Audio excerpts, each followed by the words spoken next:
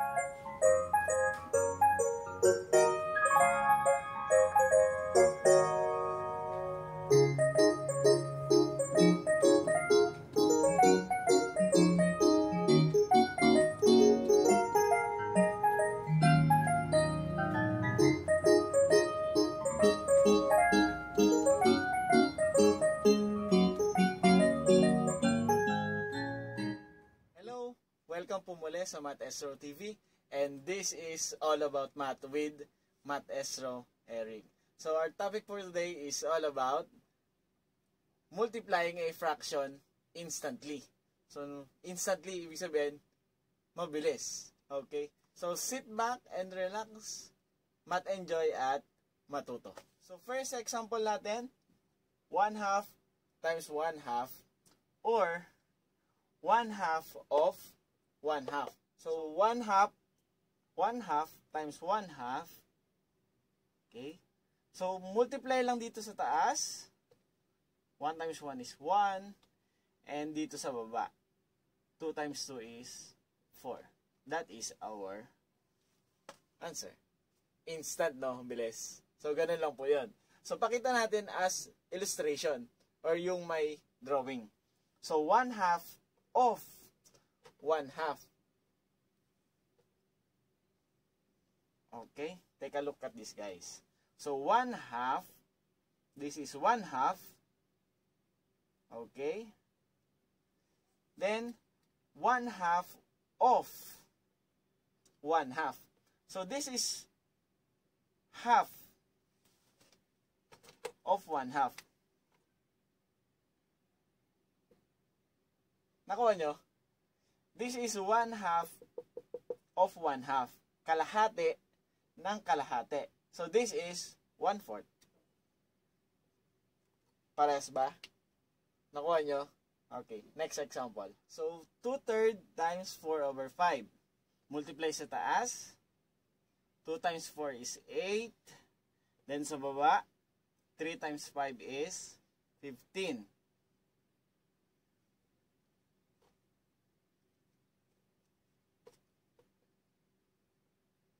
Okay. So, 8 over 15. Can we simplify 8 over 15? Meron ba siyang common factor? Wala na. Okay. So, this is our final answer. One more example. So, 6 times 1 over 3 or 1 third. So, paano na daw yan? Meron siyang whole number. And, fraction. So, paano ang gagawin natin? Di ba, yung whole number natin, meron siyang over 1. Tama? 6 divided by 1 is 6. Okay? So, gawin natin siyang improper fraction times 1 third. 6 times 1 is 6. Then, 1 times 3 is 3. So, 6 over 3 is, or 6 divided by 3 is what? 2. Okay, so this is our answer. Next given.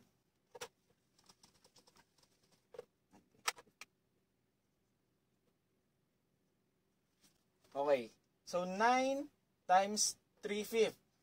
So, ganun din. Meron siyang over 1, or kahit hindi na natin isulat, Simply, 9 times 3 is 27 over 1 times 5 is 5. Okay? Then 27 divided by 5 or change into mixed fraction.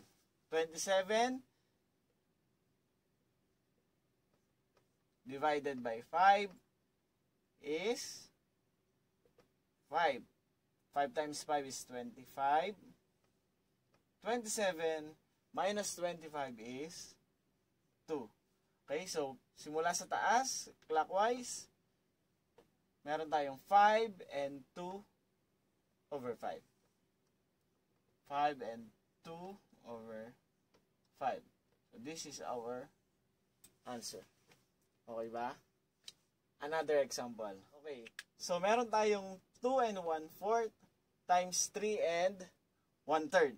So, ang gagawin natin dito, mixed number, change into improper fraction, mixed number, or mixed fraction, change into improper. One is 9 over 4 times 3 times 3 plus 1 is 10 over 3. Okay? Next, multiply numerator. 9 times 10 is 90. Then denominator, 4 times 3 is 12. Then simplify.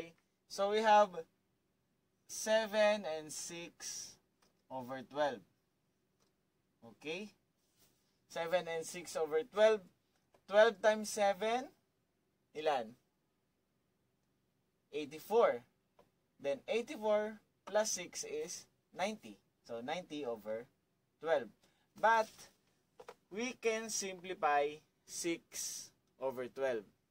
So divided by 6. So we will get 7 and 1 half. Nakuha niyo po? 6 divided by 6 is 1 and 12 divided by 6 is 2.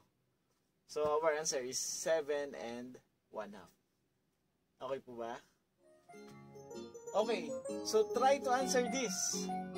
3 4 times 3 4, 7 times 1 half, 3 and 1 4 times 2 third. So pagkatapos nyo magsagot, take a picture with you, send nyo sa Matt Esro Eric sa Facebook account ko or sa messenger ko. Then, may chance kayong manalo ng mga papremyo. Mga mami at daddy, kuya, ate, pwede po kayong magsagot, pwede kayong maka-join. Sagutan nyo lang po, take a picture with you sa inyo po sa messenger ko. Thank you for watching. Bye-bye!